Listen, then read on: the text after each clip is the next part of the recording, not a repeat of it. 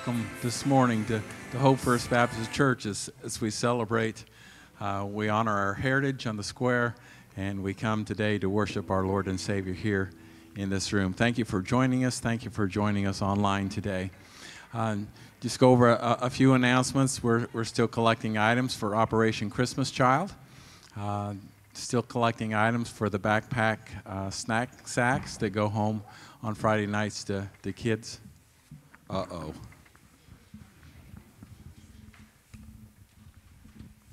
We need a, uh, we need some meals brought in from dear, dear friends of ours, May and Daryl Jesse. We need them at least every other day, and I'm going to put a paper out here, and we need names put down uh, for meals to be brought in to them please call before you bring them in to make sure that it's okay and that they're able to eat what you're bringing in. And uh, they're not doing very well, and they need help. And our church family has been always good about doing this. So please put your name down to help make meals for them. Thank you. Thank you, Brenda. Um, where was I? Next next Saturday morning, uh, men's breakfast at down at Duck Creek Garden. So, men, that's at 7:30. Uh, please come join us for a, a, good breakfast and, and fellowship around the table. Uh, eight o'clock. Okay, it's been changed to eight o'clock. Uh, so, so come at eight o'clock. Um, youth have a, an outing uh, on the 13th, Sunday evening, the 13th. Church bonfire and hayride and, and fun times out of the gathering field on uh, Saturday the 19th.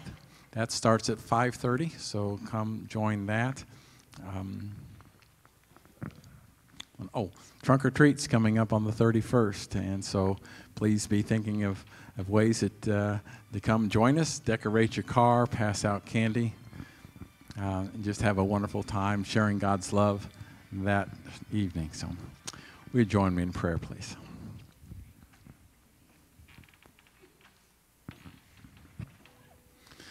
Our dear Heavenly Father, we, we thank you, dear Lord, for, for those men and women so, so many years ago that came and, and decided that this is the place that they were going to start their home. This is the place that they were going to start their church. We thank you, dear Lord, for, for their insight, for, for your wisdom, your guidance, that this little town was started and, and so many faithful people have, have contributed for so many years. May we continue that faithfulness to, to you, uh, the faithfulness to the community, dear Lord, the faithfulness to the church, and faithfulness to each other. We just thank you for, for all the blessings you just give us, dear Lord. We, dear Lord, we thank you for the rain that we have received. Dear Lord, we, we pray for um, those families, those towns, those cities that, that were devastated by the, the hurricane, and we just, just pray that you would be with them, that you would encourage them and give them wisdom and guidance to go forward from this place on. We, we pray for those families that have lost loved ones, dear Lord. We just uh, pray your, your compassion and your love be poured out upon them. We thank you, dear Lord, for, for our pastor and for his family. Uh, we just ask your continued blessing and, and protection over them. Uh, we thank you, dear Lord, for, uh, for answered prayers. We thank you for results of tests, dear Lord, and, and we just thank you for the miracles that we have seen. We pray for those that are um, waiting for answers to tests. We're, we're waiting for uh, results of of exams, dear Lord, we just pray that your hand be involved in that, that whatever situation that is going on, dear Lord, you are in control. We pray for, for Daryl and May as, as they struggle, dear Lord. We pray for uh, Jim Baker and, and Dean Young and, and Tom Hall. And dear Lord, we pray for uh, Anita Beaker this morning. We just pray that you would ease the pain in her arm, that uh, she would feel some comfort, dear Lord, that the healing uh, be quick and complete. Dear Lord, now as, as we continue on with, with our worship service, joining the, the hosts that are around you, may you be glorified. May you be honored. We pray all of this in your Son's precious name. Amen. Reading from the 45th chapter of Isaiah, beginning in verse 4. For the sake of my servant Jacob and Israel, my chosen, I call you by name. I name you, though you do not know me. I am the Lord, and there is no other. Besides me, there is no God. I equip you, though you don't know me, that people may know from the rising of the sun and from the west that there is none besides me. I am the Lord, and there is no other. I form light and create darkness. I make well being and create calamity. I am the Lord who does all these things. Shower, O heavens, from above. Let the clouds rain down righteousness. Let the earth open, that salvation and righteousness may bear fruit. Let the earth cause them both to sprout. The Lord, I have created it. Will you stand with us this morning and join us as we sing?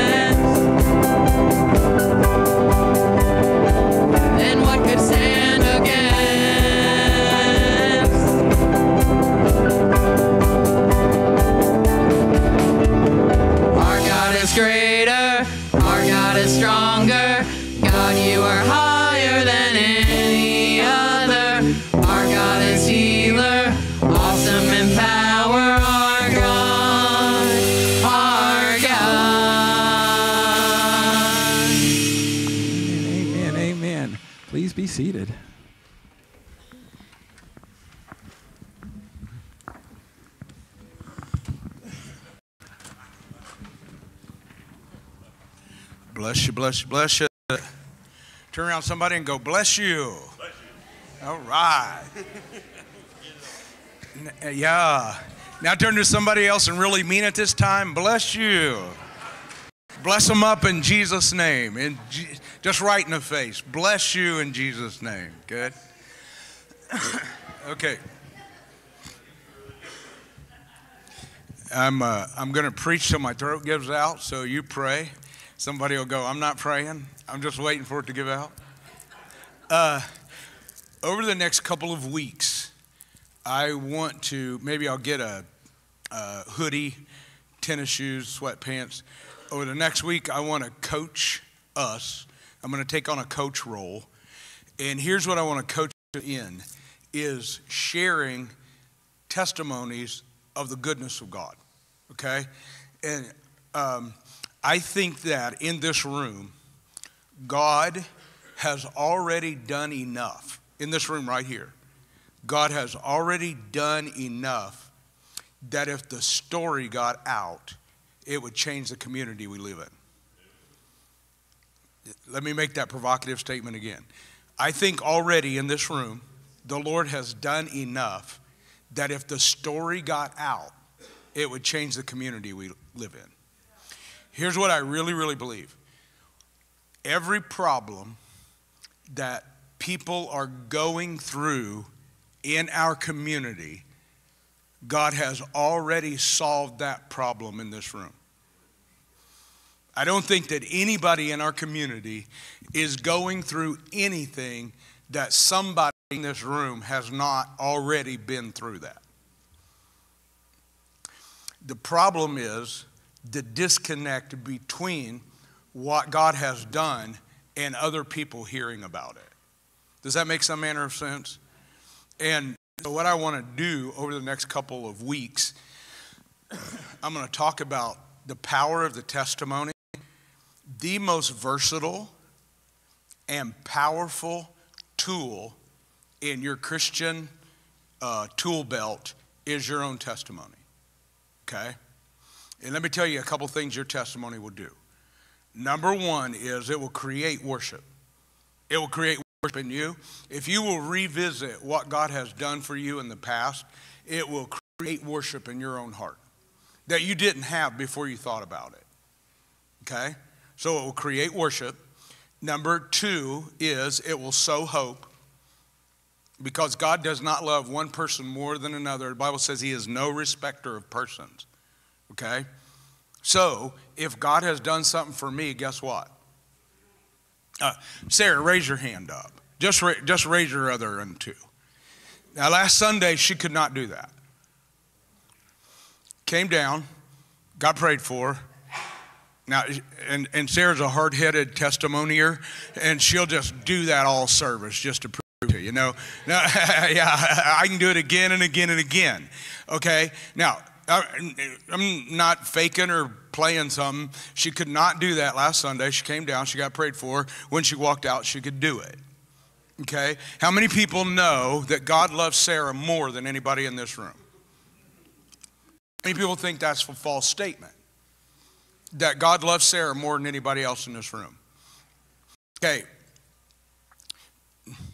I love to argue that one because God's not linear. Only a linear person can love one thing more than another person.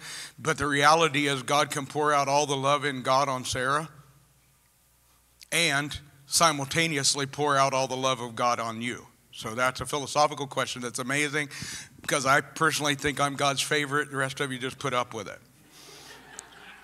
And that's absolutely true, but you're God's favorite too because God's nonlinear. Okay? But here's the point I want to make Does God love Sarah more? No. But if God will touch Sarah, what does that do in my heart? It sows a hope that God can God could touch me too. And B, if I talk about it long enough and keep narrowing it down, pretty soon you'll go, hey, wait a minute, God can touch me. So not only does it sow hope, it, it creates faith. Your testimony will create faith in somebody else. Okay?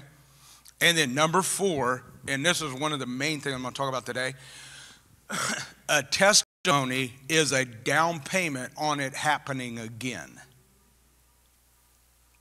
And I might tell you a couple testimonies about that. But a testimony creates an opportunity for it to happen again. How many people in this room are saved? How did you get saved?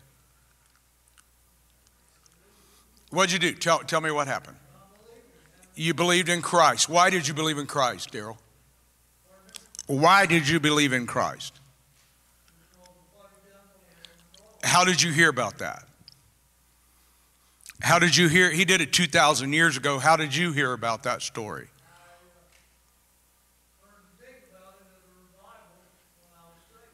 You heard uh, the story of Jesus at a revival meeting because somebody else shared that they had been born again. Had your mom been born again? Yeah. And was she praying for you? Yeah. And did you did you grandma, grandpa, dad, I'll translate because Daryl and I are from the south, and all of them. And all of them means everybody else that was a Christian. Okay, now watch. People say Daryl got saved by the word. That's absolutely true.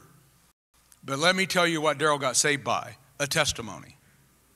Because there was somebody that believed the word that told him he could see in real time what it looked like to believe the word. There is no one in this room that is not saved because of somebody else. And what happened was there's a testimony that traveled from a testimony to a testimony. Anybody in the room ever been healed? Sarah, would you raise your hand, please? Okay, yeah, yeah, she's excited today, man. I couldn't do this, now I can do this. Y'all just put up with it. Okay? Uh, thanks, Sarah. I won't make you do it all day, but I may ask you again. I don't know. Okay. Sarah got healed. What's her testimony? Help me out. What's her testimony? Just say, I got healed. What's her testimony? I got healed. What's Daryl's testimony? I got saved. Anybody in the room ever been under an addiction or a power that you could not get out of? You came to Christ and you got out of the addiction or the power. Is there anybody in the room like that? Don't be ashamed of it. Go ahead and raise your hand. Okay? Okay. Uh, uh, let me pick on somebody. I'll pick on Darren. Okay? If if I were to ask Darren, what's your testimony? Darren would say, I got free. Right? And I said, Darren, how did you get free? And I have done this privately. How did you get free? And he goes, I believed in Jesus. Okay? Does that make sense? Okay. So Sarah got healed, Daryl got saved, Darren got free. Okay, I'm going to show you an aspect of something. You need to understand this. Now, I'm going to be smart Alec. Put up with smart Alec, for a minute. Okay? Because here's the story. That story is not Sarah's story. It is not Daryl's story, and it is not Darren's story. That story is Jesus' story. Because Sarah, here's what Daryl would say. And just go ahead, and I'm not going to be mean, but I, I want to unwrap something. Daryl asked Jesus into his life. How many people have asked Jesus into their life? okay. Stay with me. Daryl did not ask Jesus into his life. Jesus invited Daryl into his life. The story is not Sarah got healed. The story is Jesus healed somebody. The story is not Darren got free. The story is Jesus set somebody free. And there are two, and I'm going to show it to you in the Bible. There are two dimensions to every testimony, please hear me, that make it one testimony.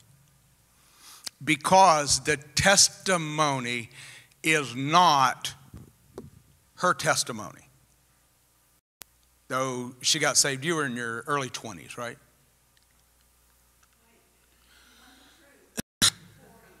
early 40s, early 40s. Um, 20s encounter that was leading toward in her early 40s is when she actually said a prayer. And listen to this what happened? Here's the way we'll say it. And Christ came into her life. Okay? That's not the real story at 40, she opened her heart and Christ invited her into his life. Now, let me tell you what a testimony is. A testimony is Christ wrote you into his story. The way we tell it is here's chapter one of my book, here's chapter two of my book, here's chapter three of my book. In chapter four, I wrote Christ into my story. Chapter 5 is my post story with Christ, okay? we see that from a human perspective. The reality is, Christ wrote me into his story at that time. Okay? So, therefore, I'll show you in the Bible. There is only one testimony in the earth. Whose testimony is it? Come on, say it real loud. It's Jesus' testimony. Every human being that has encounter with that testimony, that are telling their story, they are simply telling a branch off of the tree of the story of Christ. Right? So now, can I be smart, Ellie, just a minute? Don't keep it to yourself. It's not your story. It is illegal for God to do something for me and me not tell about it. Totally illegal. Okay? How about if you're shy? What if you are shy? so, what I want to do is unwrap over the next couple of weeks. Here's the way to tell that story, sometimes subtly, sometimes very dramatically. But how do I tell the story? Because every time I tell the story, it sows worship, it sows hope, it sows faith, and it sows an opportunity for it to happen again. Okay? I'm going to give you another small outline oh, and wrap it over the time. Therefore, your greatest tool, tool in your tool belt is the story of what Christ has done in me, through me, to me. Okay? Sometimes that can be apologetic. People are saying, I believe this, you believe that, you're wrong, I'm wrong. And you go, okay, okay, I don't know about all the arguments, I haven't done science, you're smarter than me, but let me tell you a story. Once I was blind, now I can see, right? Once I lived on the streets, now I own a business. Go ahead and, I don't know what your argument is. I know I once was blind, now I can see.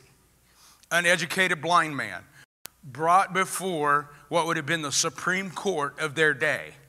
They are questioning him, arguing with him, and he goes, Wait a minute, guys, I ain't even been to school. That's in the Greek in between.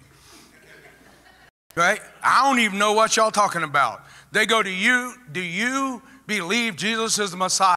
I go, A, he goes, A, I don't know what a Messiah is, and B, I've never seen him. Because here's what I want you to think about. Until that guy said that, I never thought about it. The blind never saw Jesus. He comes up to Jesus blind. Jesus puts, uh, makes a, a paste, puts it on his eyes. He goes, dips in the pool of Siloam. He comes back seeing. When did he start seeing? At Siloam. Had he ever seen Jesus? No.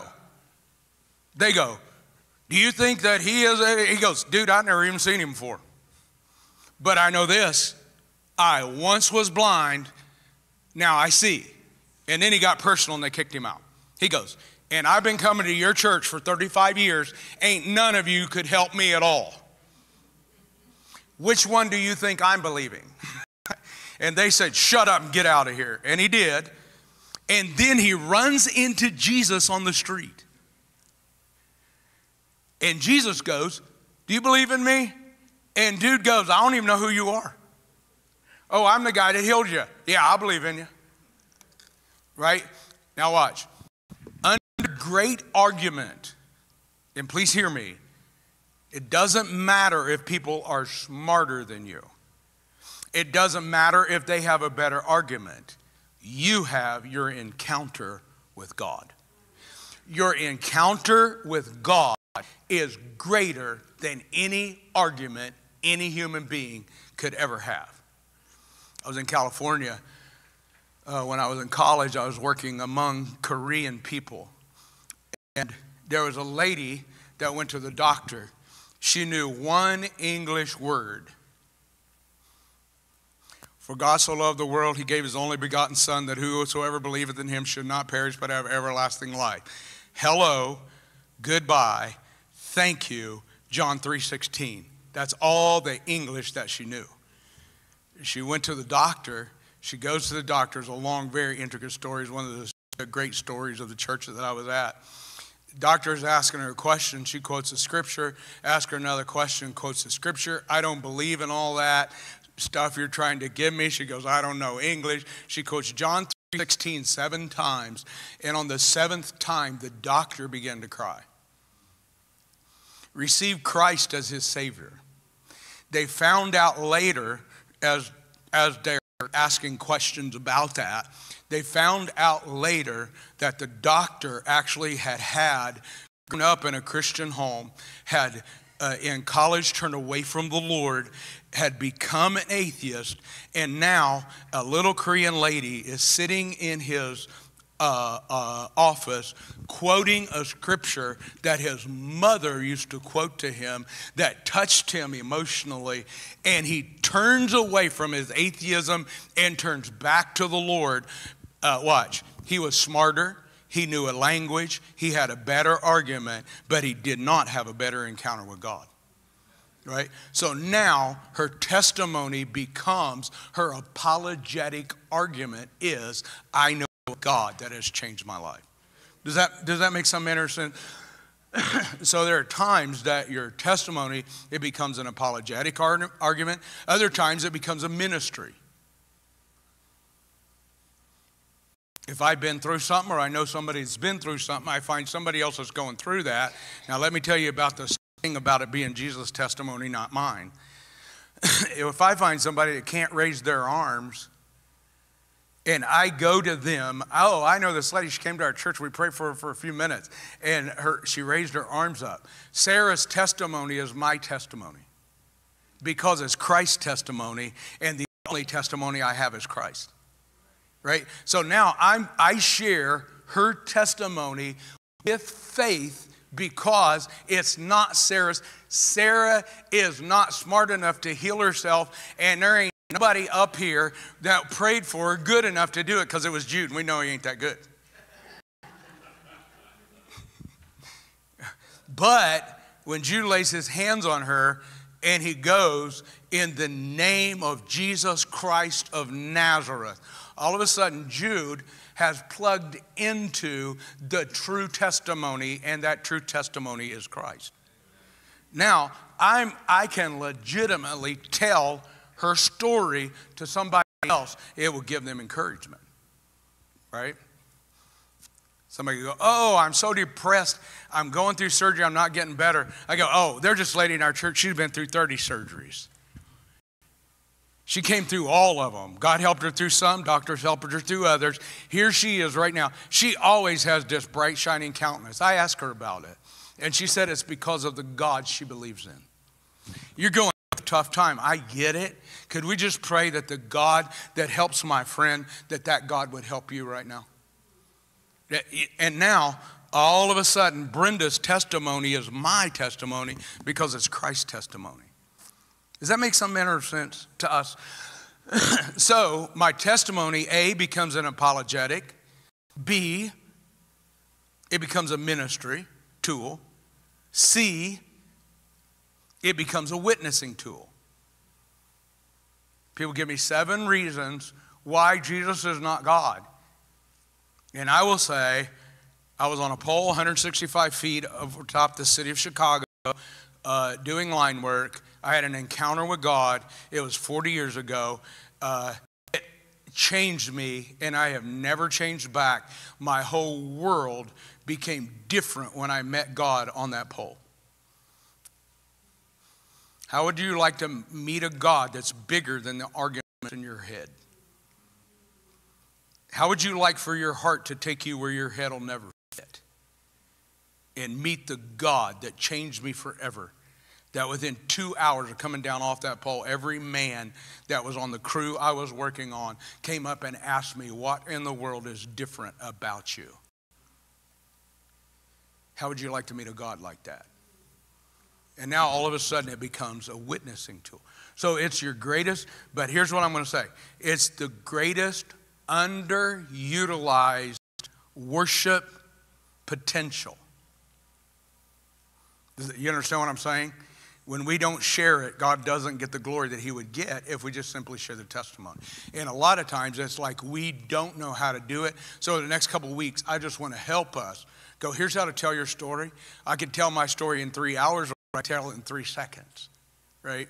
And in, a, in, in your testimony, there's an anatomy of it, and we're going to learn this from the Apostle Paul. He tells his testimony three times in the book of Acts. here's the anatomy of the testimony. I'll unlock this later. I'm not going to preach it today. There's the pre Jesus encounter, there's the Jesus encounter, and there's the post Jesus encounter. Okay? So before I met Jesus, I was one way. Here's how I met Jesus after I met Jesus, here's how things are different. And that goes from my salvation testimony to everything the Lord has ever done for me. Before Christ intervened, here's what it was like. Here's how Christ intervened. Here's what, how it's been different since he intervened. And I'll help us. Little format that's always in my mind. I'm looking for opportunity to. An opportunity will arise, and sometimes I create an opportunity to just go, here's what it was like before Jesus. Here's how Jesus encountered. Here's how it's been different. so, what we're going to see the Apostle Paul do, according to the group, he adapts his story. One time he'll go, Oh, it's really important that you know what it was like before I met Christ. Here's how I met Christ. Here's how it's different. Another time he'll go, uh, It's important for you to know how I met Christ. Here's what it was like before. And then he spends the whole body of the testimony telling you how he met Christ. Then he'll go, And now here's how it's been different. Then another time he goes, Here's what it was like before Christ. Here's what, how I met him. And here's how it has totally been different. How would you like your life to be different like mine? Right? And so I'll, I'll help us unwrap that. but today I want to go a little bit philosophical. Uh, I kind of laid the foundation of the three things that we're going to do over this time. Uh, but I'm, I'm going to have you go with me to Revelation chapter 19. We're going to go to verse 10. I'm going to show you the eternal mention of a testimony. And here's what I mean by that um, is that if they're not healed, Jesus is the healer. And so what we see as Sarah's testimony is actually Jesus' testimony. Daryl got saved. He invited Jesus into his life, but actually it was an invitation of Christ inviting Daryl into his life. Does that make sense? And so we will see it from the earth perspective. Heaven sees it from the heaven perspective.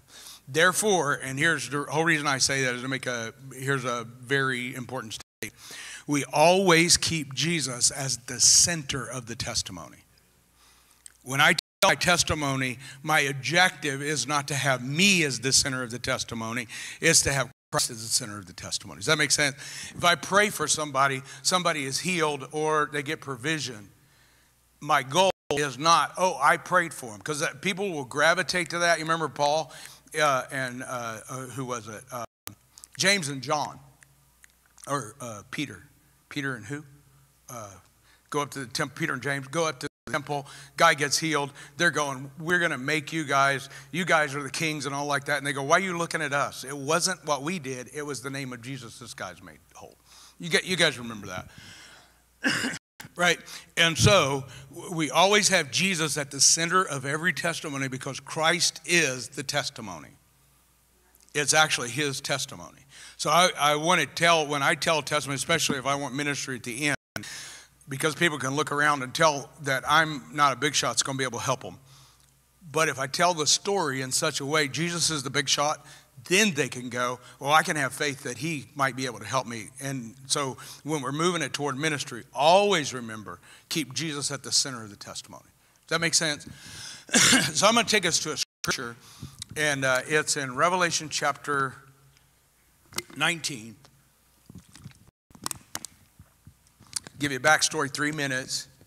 John is in church on Sunday morning. Nobody else is there, but he has church anyway. Uh, it must have been Heritage Days. Everybody else was over at Heritage Days. It might have been raining there right home. I don't know what the deal was. But John goes, It was the Lord's day, so I was in the Spirit on the Lord's day. He's on an island all by himself. But still, when it's the Lord's day, he sets his heart toward the Lord. This is Revelation 1. Sets his heart toward the Lord Three different times he is caught up into heaven, and the Lord shows him things will, that will come to pass on the earth and things that will happen in the eternal realm. The third time he's caught up is Revelation 19, and uh, just to keep it interesting, John on that day actually saw your face. Because what he sees is the end of the age and the marriage supper of the Lamb. At the marriage supper of the Lamb is all believers from all ages and generations that are gathered around the Lord.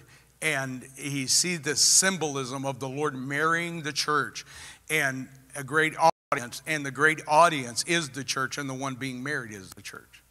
But here's what I want you to know if you are born again, you will be there on that day. And John saw that day. He saw the day you will actually live in.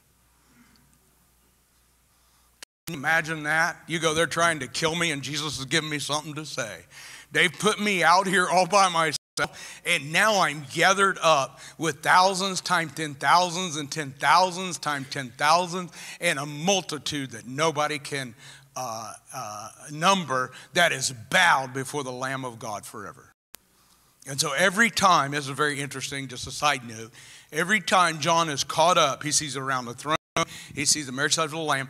Every time John is caught up, I could literally say this with confidence he saw your face in a great, massive crowd, right? So he has this in 19, he has this escort angel that's showing him some amazing things, okay? And now uh, we unwrap three little hidden gems in this passage. when he sees the marriage supper of the Lamb, it undoes him and falls down at the feet of this escort angel. All right? And I put his feet to worship him, but he said, See that you do not worship me. If you ever have anybody that says they saw an angel and they fell down and worshiped the angel and the angel received the worship, go ahead, go ahead, Luke. It's, it's not real, is it? There's only one created being that tried to steal worship that belongs to God. What was his name? Satan. And he talks what? How many of the angels of heaven go with him? A third of the angels of heaven, he talks them out of heaven, and they follow with him. Now, watch this. Any angelic being that will receive worship is not from God. This angelic being is one of the, one of the main messenger angels of heaven. John falls down to worship him, and he goes, What? Do not worship me. What happened to that angel if he would receive the worship? Well, it would be an instant fall. He's fallen into the same trap as Satan himself. Does that make sense?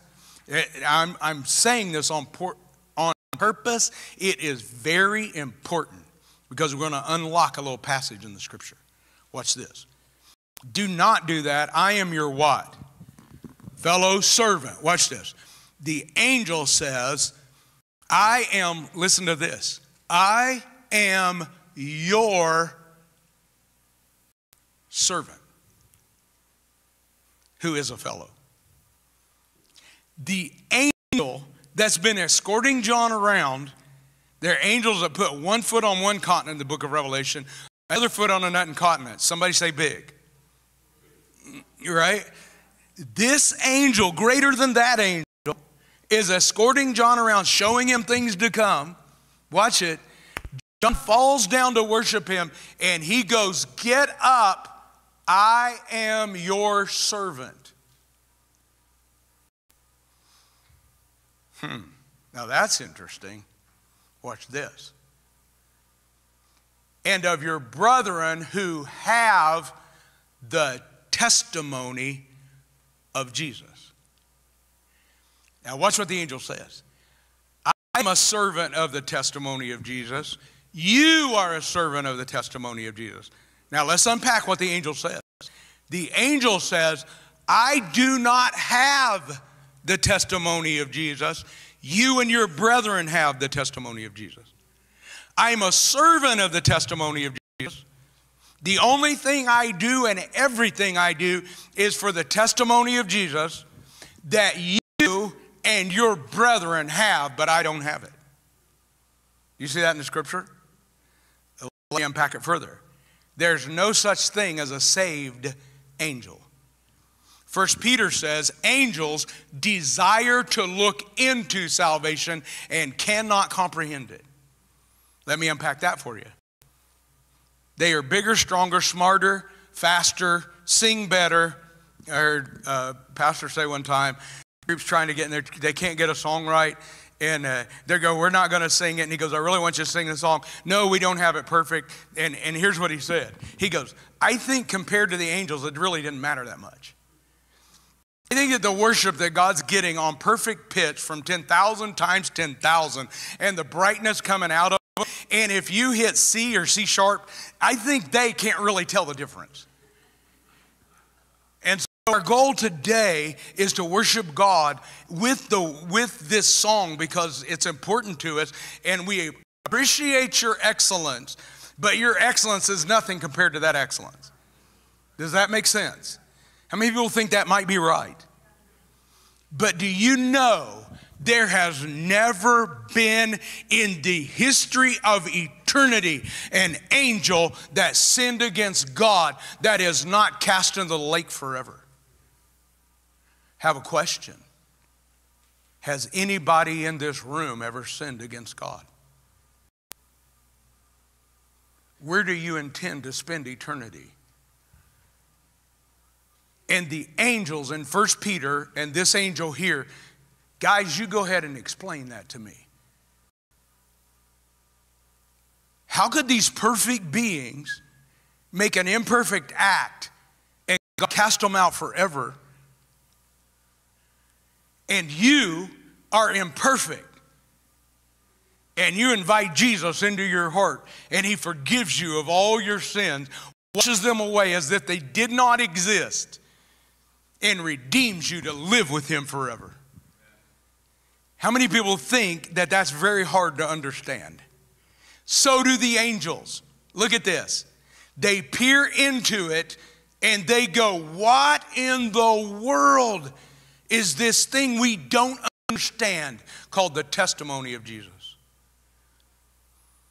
Guys, when you come to an altar like Daryl did, and you say, Jesus, I give you my life. I ask you to forgive me of my sin. The price for that to happen 2,000 years later was 2,000 years earlier. Heaven bankrupted itself, took its prime personality, gave it to the earth. He became a man, died on a cross, resurrected, ascended on high, and now he has a testimony. I have died, I have resurrected. I have ascended. Come on, Brenda. And because of what I've done, I forgive Brenda. My blood washes away every sin. And now she enters the testimony of Jesus. and because she has entered the testimony of Jesus, every angel in heaven says, We will work with and for Brenda because she's amazing. It's true. What made her amazing? Come on. Now, watch what happens. Watch what happens. There is no being in heaven that has a greater testimony than Brenda. I sat with a bunch of, I've told this story a hundred times, I'll tell it a hundred more. A bunch of girls and boys and young people that had been affected by drugs. Some of those young girls had done anything possible to get drugs. And then it's a little Christian girl. And the little Christian girl says, I don't have a testimony. God's never saved me from what He saved you from. And one of those smart little street smart girls says, He saved you from it, He saved us out of it. It's still all about Him. And what she was saying is, there is no greater testimony in this circle right here than the testimony of Christ. Because if there is a saved, it just says there's a Savior. See, my faith is not strong enough for the problem that I face. But thank God, it's not based on my faith, it's based on a deliverer who can deliver me. When I get delivered, I raise my hands and I go, I've been delivered. And he goes, Yeah, because I'm a good deliverer. now, here are the angels looking from the eternal perspective. And they go, the testimony that you carry is not simply your testimony, it is the testimony of Christ. Brethren, for the testimony of Christ. And then right in the middle, John just falls down, starts worshiping him. Now, if you're in heaven and you're seeing something that's at least 2,000 years from where he is, I don't know what you would think would be the most important thing at that moment, but he's overwhelmed by what he sees. Maybe he sees his own, his own side. He goes, I made it. There's some of my friends. This is the end of the age. Yay, we won. The victory is Jesus forever. and right in the middle of it, Tom, the angel goes, The most important thing in this scenario is the testimony of Jesus Christ. And then he goes, and I'll finish in the next 20, half hour. No, uh, in fact, next five, five, ten minutes, right? He goes, the most important thing in this scenario is the testimony of Jesus.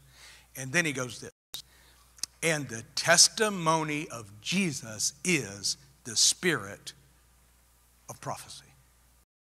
All right, I have that memorized. One day it's, I'm just thinking, meditating. That scripture pops out in my mind. I think about it in context and I go, okay, spirit of prophecy is testimony of Jesus. John taught up this prophetic encounter. The testimony of Jesus is important, is the most important thing in all prophetic encounters. Yes, that's true. Then my mind falls on this thing that I know. And the thing that I know is the word testimony in the Hebrew language. Let me tell you what testimony means in the Hebrew language. In the Hebrew language, if you give testimony, A, it means you're a witness. Do I have any witness for Jesus Christ? And here's the second part, and this is very interesting. What a witness says goes on record. So there's a little lady, she types real fast, she got a special keyboard. Everything said, I've been in depositions, I've been in court before. Everything that said, the court recorder is typing. Stay with me just a minute. So whenever I stand up and gave my testimony in a court of law, the recorder is recording it. That is called a testimony, and this is called a testimony. The witness and the record. This can't be changed. Sarah, raise your hand one more time. I'm using you as the illustration. We're just glad she can raise her hand. Go ahead and stand up. Come on. Four months ago, she couldn't do that, right? Uh, Sarah down here, we prayed for for a long time. Brenda was there praying for her. And uh, finally, Sarah, after 20 minutes, you remember that? She goes, I can't do this. you can't do what? She goes, I can't stand for 20 minutes. I can only stand about two minutes, 10 minutes. I got to sit down. I've been standing here for 20 minutes. I can't do this. I don't need that walker anymore. And so she walked out to her car without her walker. Okay, thanks, Sarah. Okay, now let me tell you the amazing of that. She's the witness, but when she gave record, stood up and told that testimony, it has to be public for it to be a. When she gave record of that, nobody, anywhere, anytime can take away that record. Come on. Anybody remember the song? Uh, a new name written down in glory, and it's mine, Lord, it's mine. I can't sing regular, so don't try to get me to sing country, okay? Watch. The witness is, I got saved. The record is, my name was written in heaven. The reality is, that record cannot be altered. So, watch what happens. Jesus does something, I give witness. When I give witness, it goes on record. Eternally, he gets worship for it. Huh? I tell Dan, three years later, Dan tells my story. It goes on record again, and it goes on record again, and it goes on record again, and it goes on record again. Who is being testified to? It's not Dennis who's being testified to is Christ, and it's going on record that he's right. Here's the third thing. The third thing in Hebrew, this is amazing. It comes from a word that means because it went on record, it was duplicated. Okay? And it is, you remember how to say that word. No, it's it's A Y O O D. It's Hebrew word. Some people do it E H U D. Ehud. And here's what it means it possesses within it the ability to do it again. It, what, what are they saying? You gave testimony in court, it went on record now, anytime we come to court again, this record has the same ability as if you were giving witness. Does that make sense? To the Hebrew mind, that makes totally sense. But here's what it's saying about a testimony. When Sarah gives her testimony, Jesus healed me, it creates the environment for Jesus to do it again. Now, for her, it was a shoulder, but sometimes he might just slip out of the box and heal a back when you give a testimony for a shoulder. The testimony is simply creating the environment for God to do it again. That's all. New Testament, the testimony of Jesus is the spirit of prophecy. Prophecy is you proclaim what's about to happen. When someone gives a testimony, they are proclaiming what's about to happen again. Does that make sense?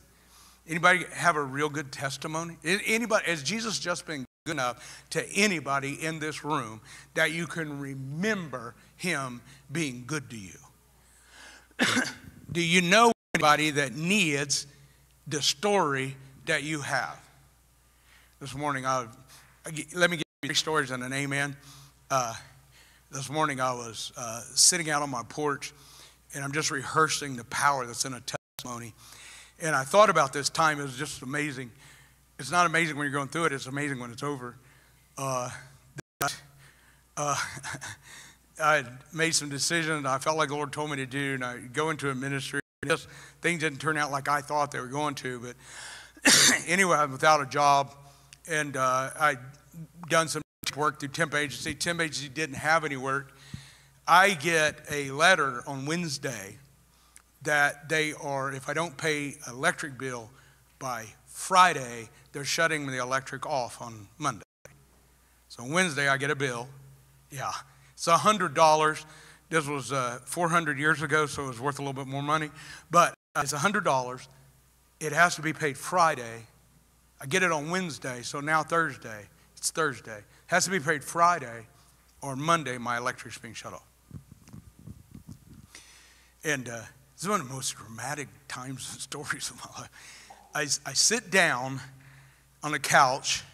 Anybody ever had a problem so big it'll take you from the couch to your knees? And uh, I, am kneeling at my couch praying. And uh, in the old days, when they built houses, they built a flap in them that you put mail through. And I'm, I'm kneeling, praying. I need $100. God, you see this. Where are you? Why have you abandoned me? Uh, that's the whiny part at the beginning of the prayer. God, would you please help? Whatever my prayer was. And I hear my flap go slap. You can hear it when the mail comes through. Now, it wasn't mail time, but I hear a slap.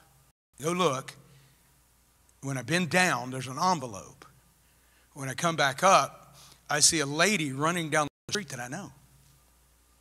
But there's no way she would know my problem. I open up the envelope, in it is a note. And the note goes, I was praying for you this morning. God told me this was urgent, must have because she's running. God told me this was urgent. And inside the note was a $100 bill. While I'm praying, a $100 drops through the door less than 10 feet away. That's exactly what I need. That'd be a good story. It gets better. I've always felt important that tithing was important. And I go, well, I got to give $10 of this back to God. Uh, that leaves me with 90. But if I give them 90, you know, in my mind, I'm running through it.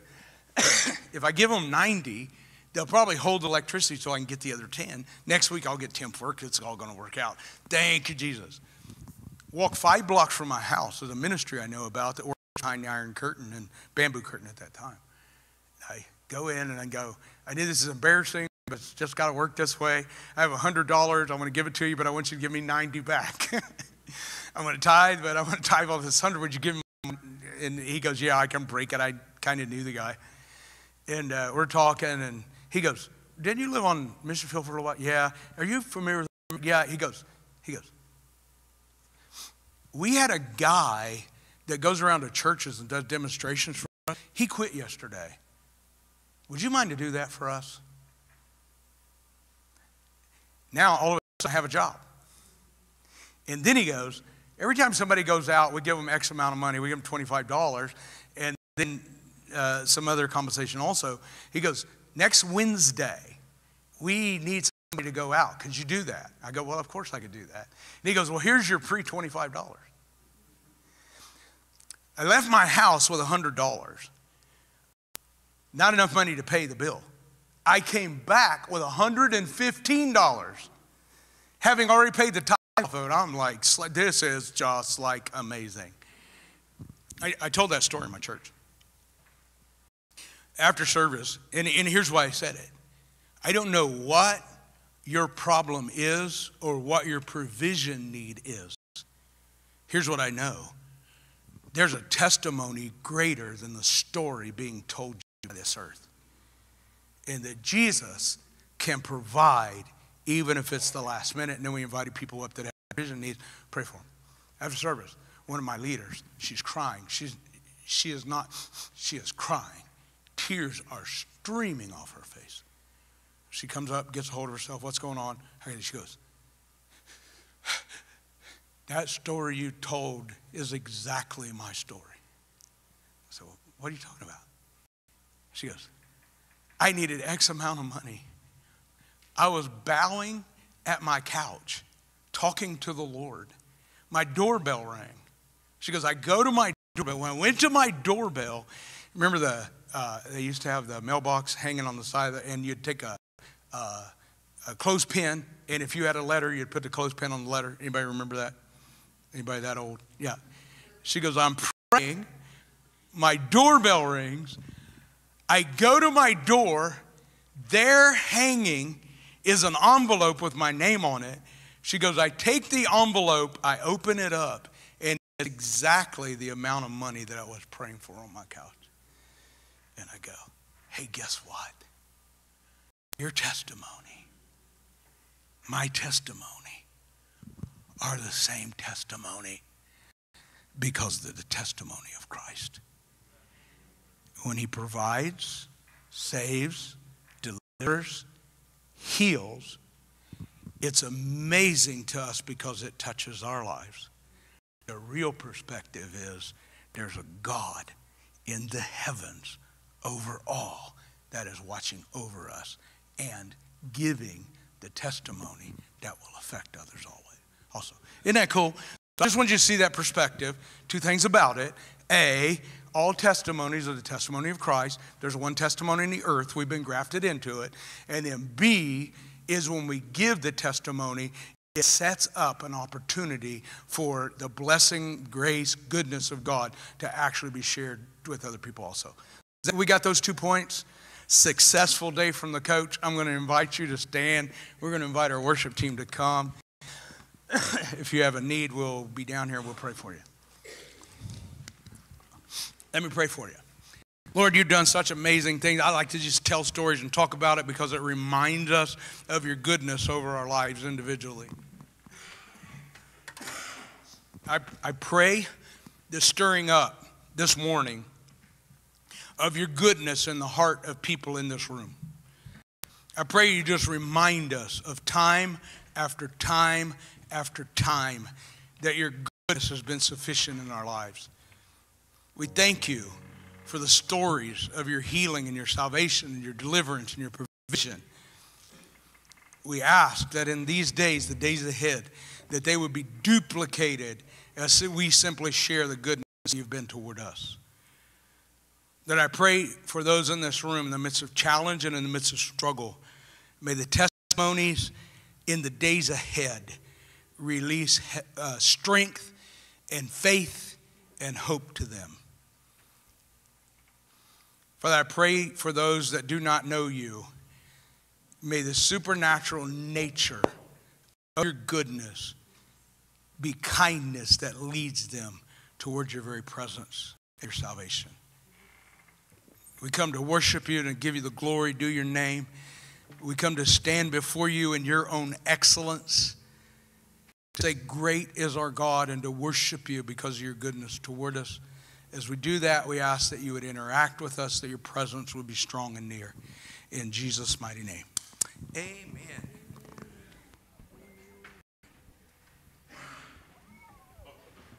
Amen.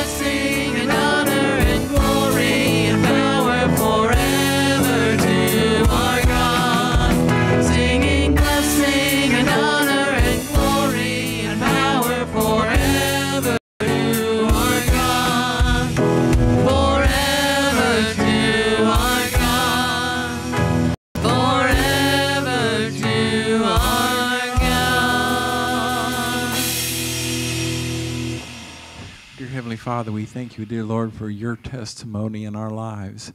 As we go into your world this week, may we live that testimony that others may see it in us. Go with us, keep us safe within your arms. Make us bold, dear Lord, living for you. We pray all of this that you would be glorified. Amen.